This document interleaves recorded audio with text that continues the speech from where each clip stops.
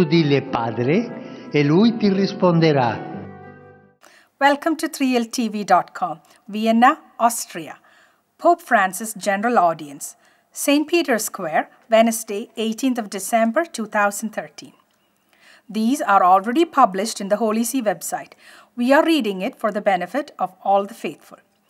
In today's general audience, Holy Father reflects on the birth of Jesus. God is with us and God still trusts us. With a prayerful heart and in union with the Holy Father, over to His Holiness Pope Francis General Audience. Dear brothers and sisters, good morning.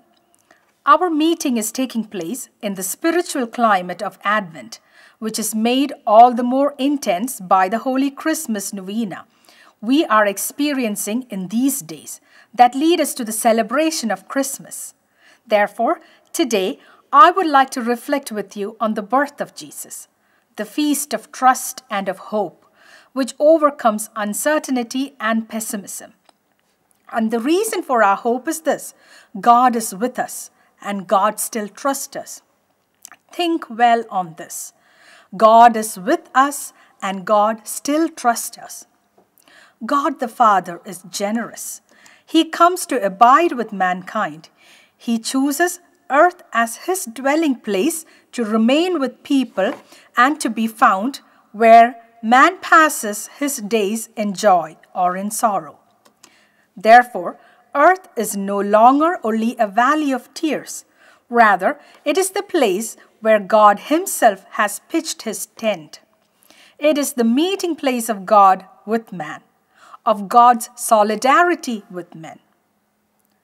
God willed to share in our human condition to the point of becoming one with us in the person of Jesus, who was true man and true God.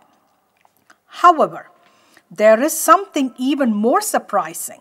The presence of God among men did not take place in a perfect, idyllic world but rather in this real world, which is marked by so many things, both good and bad, by division, wickedness, poverty, arrogance, and war. He chose to live in our history as it is, with all the weight of its limitations and of its tragedies.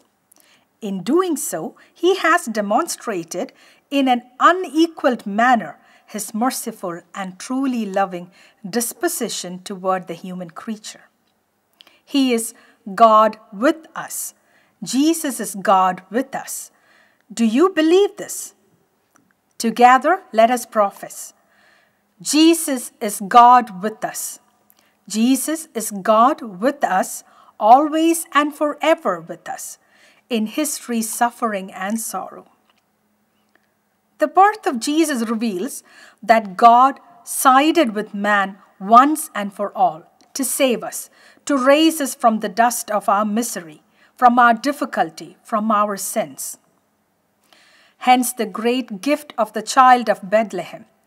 He brings us a spiritual energy, an energy which helps us not to despair in our struggle, in our hopelessness, in our sadness, for it is an energy that warms and transforms the heart. Indeed, the birth of Jesus brings us the good news that we are loved immensely and uniquely by God. And He not only enables us to know this love, He also gives it to us. He communicates it to us. We may derive two considerations from the joyous contemplation of the mystery of the Son of God born for us. The first is that if God in the Christmas mystery reveals himself not as one who remains on high and dominates the universe, but as the one who bends down, descends to the little and the poor earth.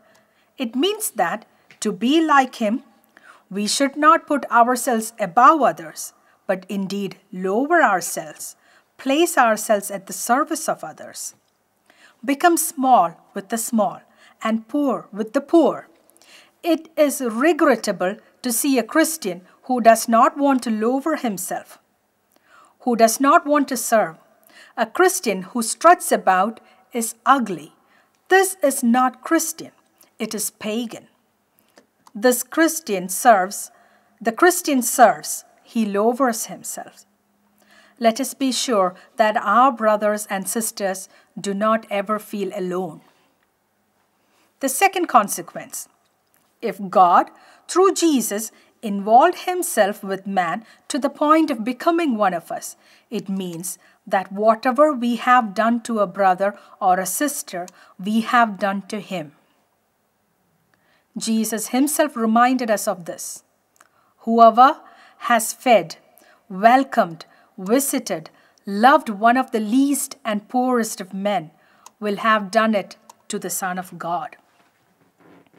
Let us entrust ourselves to the maternal intercession of Mary, the mother of Jesus and our mother, that she may help us this holy Christmas tide, which is already close at hand, to see in the face of our neighbor, especially the weakest and most marginalized people, the image of the Son of God made man. To special groups. I greet all the English speaking pilgrims present at today's audience, including those from England, Australia, and the United States. I thank the members of Up With People for their musical entertainment. Upon you and your families, I invoke God's blessings of joy and peace.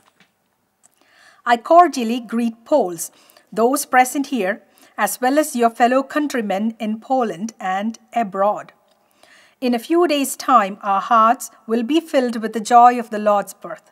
By leaving a place at the dinner table on Christmas Eve, let us remember the poor, the hungry, people who are alone, the homeless, the marginalized, the war weary, and especially children.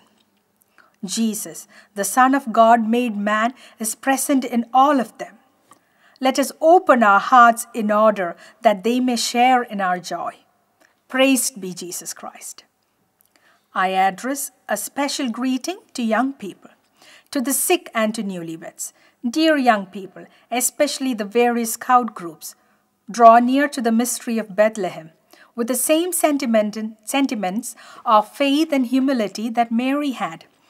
You, dear sick, draw from the crib the joy and intimate peace that Jesus comes to bring the world. And you, dear newlyweds, contemplate the example of the Holy Family of Nazareth by imitating their virtues.